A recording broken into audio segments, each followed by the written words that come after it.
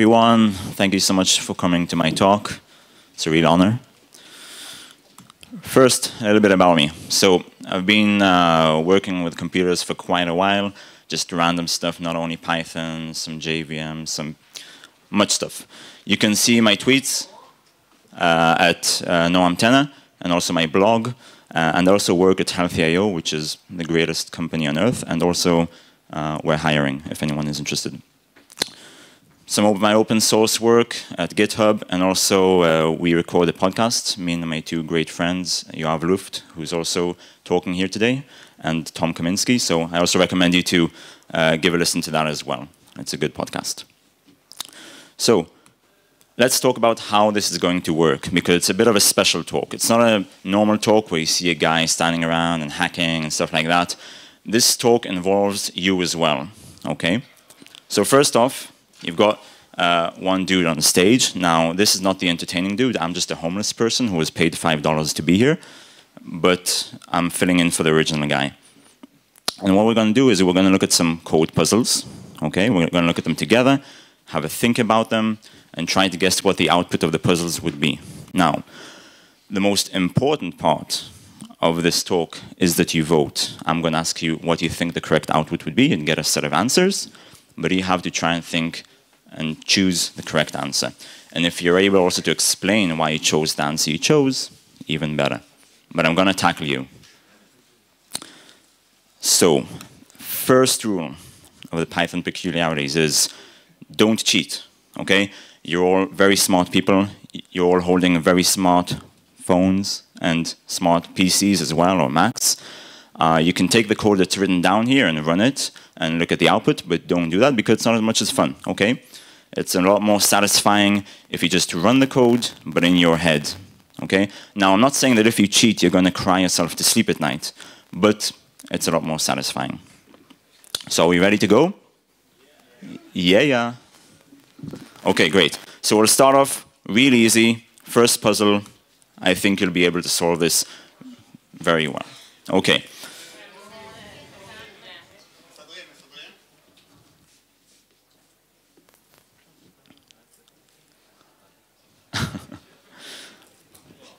Better? It's from the movie. That's right. So, we initialize a few variables, name, victim, consequence. Inigo Montoya, my father, die, you know the drill. Uh, you've all heard it countless times. But we also import uh, the OS package. Now, what happens when I try to run this together with a string pattern?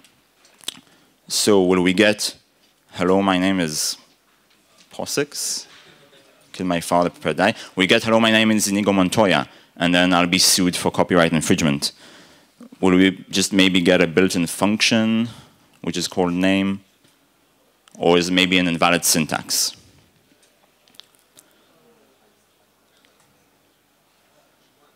Who votes for one? Idiots. Who votes for two? Okay, how about number three? And four. Very few brave people voted for. Now I'm noticing something. Not all of you are voting.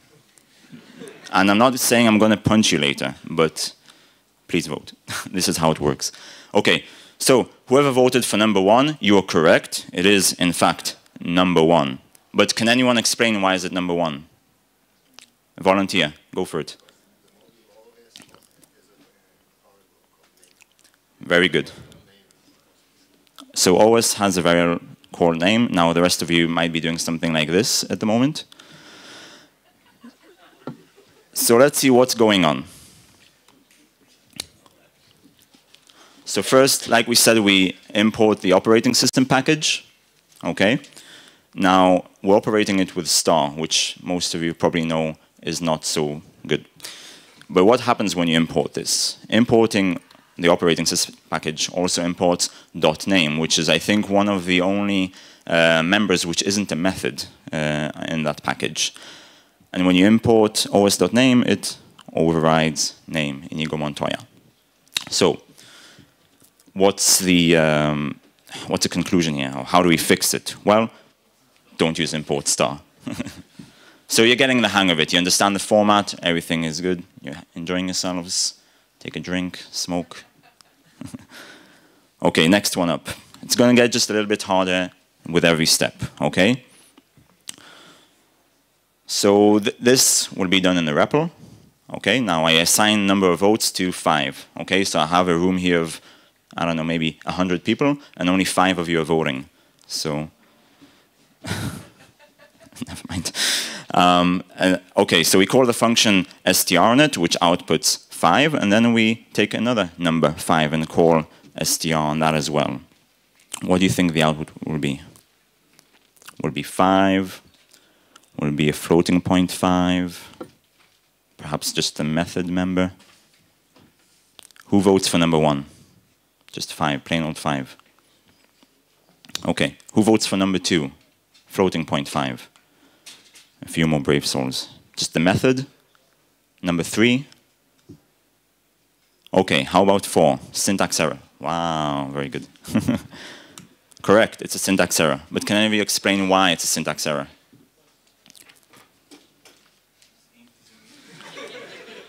because int is immutable? Uh, no, it's a good guess, but that's not the correct answer. Very good.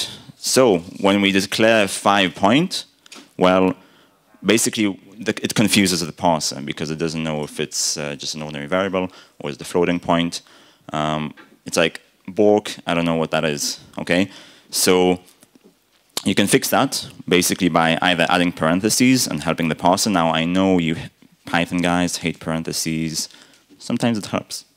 Or just my take from it is just to prefer the core methods uh, rather than the just accessing direct attributes. It's always more safer.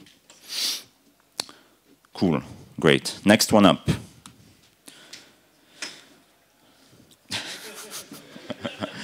it's like I'm being interrogated. You're the interrogator ones, not me. Um, okay, so we declare a new method and it has a default uh, value for the parameter, the single parameter that it accepts, a. And all the method does is just appending the number 42 to the list and returning the list. Now I'm going to invoke that method twice. It won't result in a BSOD, but it will result in something else.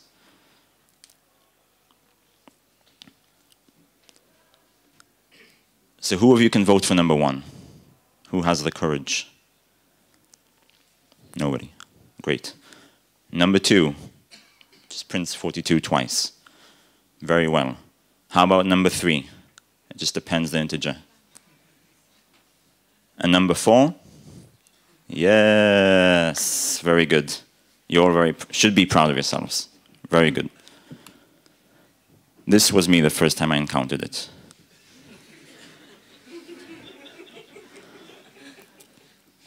Why? Why does it do this? Why do I have to suffer? You. Static parameter, Static parameter means what? That, uh, That's right. So the default parameters, well, they're validated only at compile time. And then when they get called over and over again, well, it's not reinitialized. So very good. Good one. Okay. Next up, something a little more esoteric in the language. So I, I import uh, a future feature, future feature, from um, from Barry as FLUFL, and I do a very simple assertion and print it out. I think it should be pretty straightforward. Now, try to remember that I'm also trying to trick you. Okay, it could be like, it could be true, it could be false,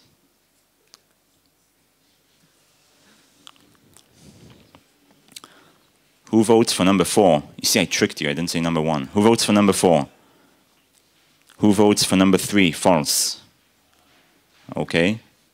Number two, true. Number one, syntax error. Okay. So those of you who voted for number two, that it's true, you're wrong. It's a syntax error. But why is it a syntax error? Who voted for syntax error? You.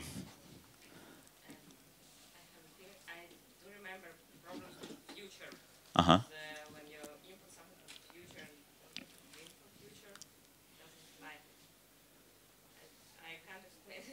It's it, it's it's almost there. Anyone else? Yes.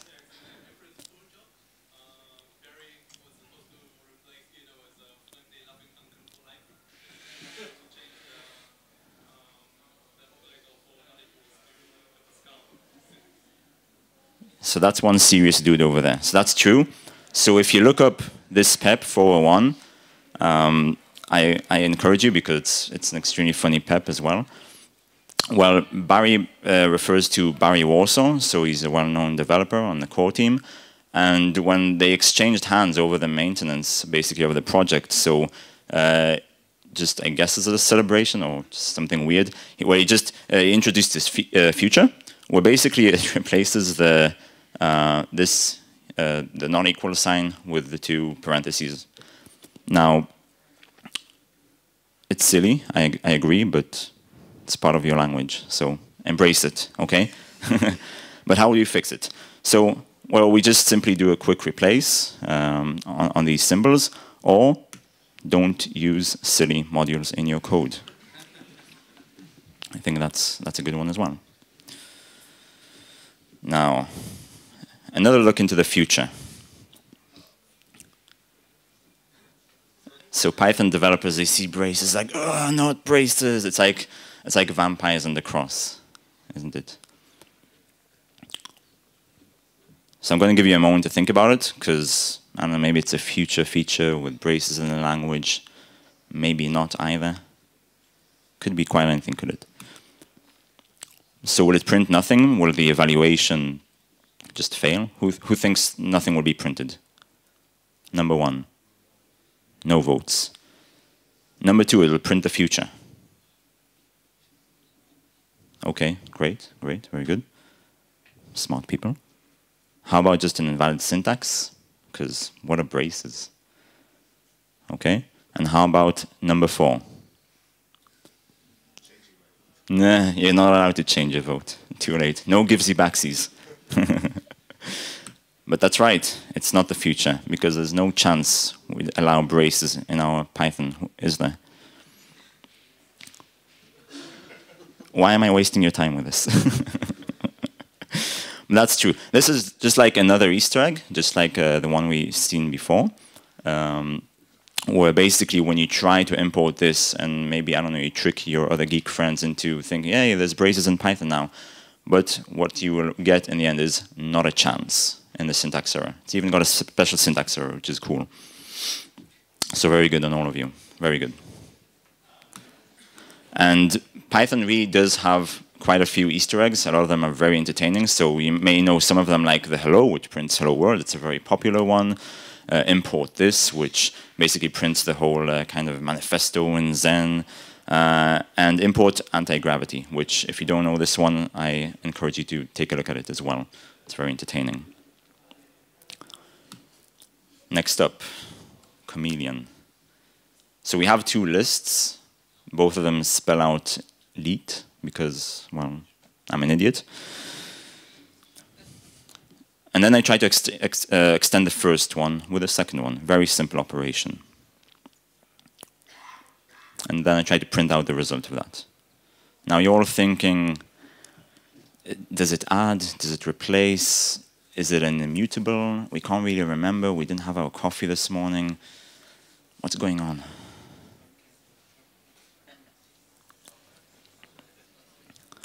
So these are results, if you want a hint. Number one, what will happen with number one? Number one, anyone? Number one, good. Number two, just append everything completely. Great. Number three just contains two lists, a list within lists. How about just an attribute error? Very good. So whoever voted for number one, you were wrong as well. Once more, I'm deeply disappointed. Can anyone explain why it's an attribute error?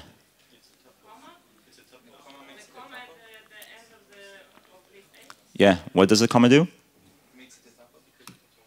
It creates a tuple. Very good, you two. Top of the class as well. no, it isn't. Don't argue. the right answer is not always four. So yeah, so we have a dangling comma there, which basically creates a tuple out of list A. And tuple has no extend method. So we're screwed, basically. Um, but I'm very proud of you two guys. You also got that. Very nice. So how do we fix it?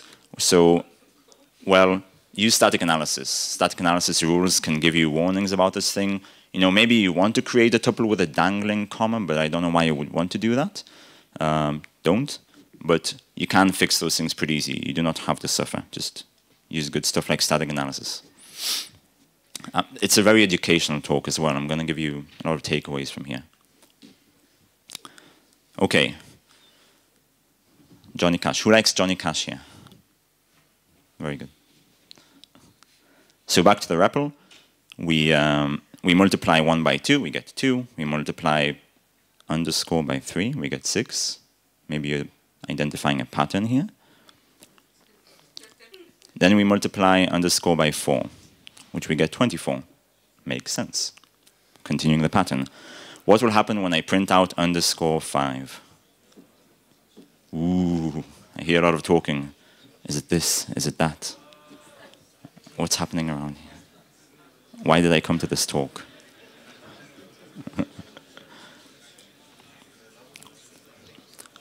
I'll show you the options. So where's the guy that said it's always the error? Now you have two errors to choose from. Let's see you now. And it's not number four either.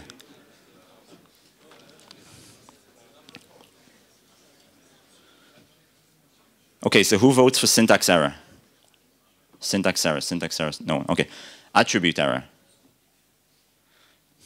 I'm fooled once again. I just made this talk way too easy. Okay, how about, uh, uh, how about 108? Good. Number 30? Very good. It is number 30.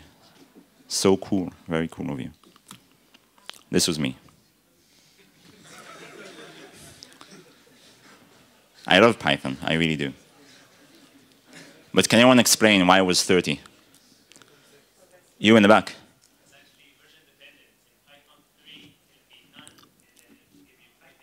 Uh-huh.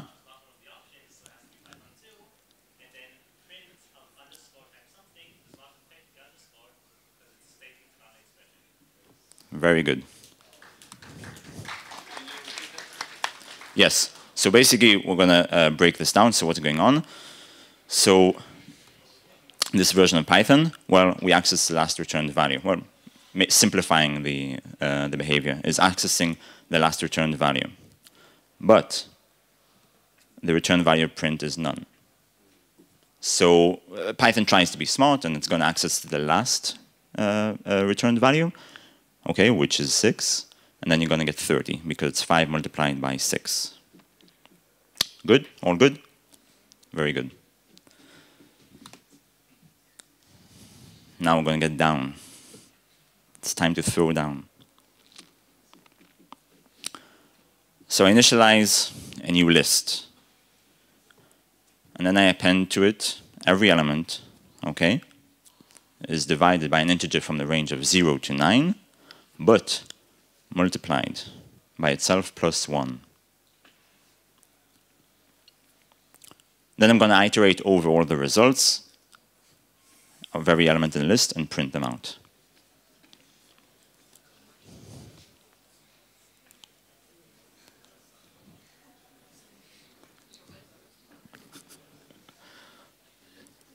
I'm going to give you another minute. Who needs a drink?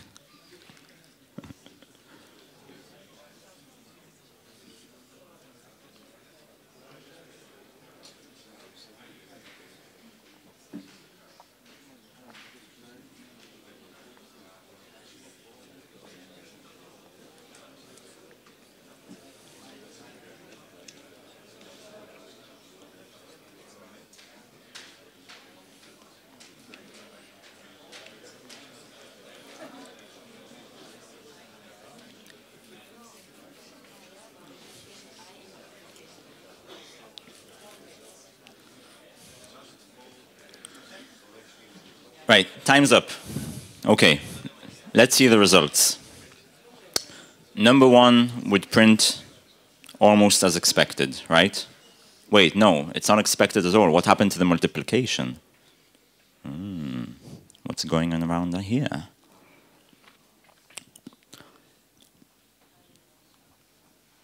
Okay, so who votes for number one? No one votes. Number two. No one votes for number two. Number three, a syntax error. Number four. Okay, uh, that's not on the option, but who watched um, who watched The Wire, the, the series The Wire? So, shit. now, most of you might be just going through like this. So, what's going on? Let's walk through this, okay? First, you notice that in the multiplication, okay, we're doing a unary, unary operation, which is not valid. There's no unary operation in Python, but Python does not fail, it just ignores. So basically what we're inserting into the first list is the square of every element of the list, correct? Good, great. So we're gonna have, uh, yeah, you know, just a series of the squares, which will result in this, option number one. But once we iterate, we're not actually iterating over a variable which we created. We keep on assigning every element of the list to the last index. So what will it look like during iteration? First, we assign index 9 with 0. Then we assign it with 1, which is the second element. That's right. Number 4. But by the time we reach uh, the, the, iteration of index 9, index 9 is already initialized with index 8 from the previous iteration. So I'm going to print 64.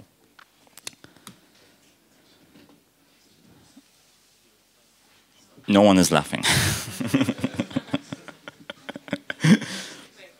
okay, but great. So that, that was the last puzzler. Okay, so um, I hope you all enjoyed yourself. Uh, just some key takeaways from, from this talk, which I hope you all enjoyed, is number one, always write readable code. Don't make your coworkers suffer, and don't make yourself four months from now suffer as well. Well, because we're not, uh, you know, always ideal and we're not in utopia, sometimes code can't be readable. and If you have any hacks or tricks or whatever you have to do, at least document them just for future reference. Um, use static analysis and a good IDE. I personally prefer PyCharm, and uh, JetBrains don't pay me anything. It's just because I love it. And last but not least, RTFM. Wait. If you've got any feedback, or if you've got any peculiarities of yourselves, Uh, feel free to, to send me them. And if not, well...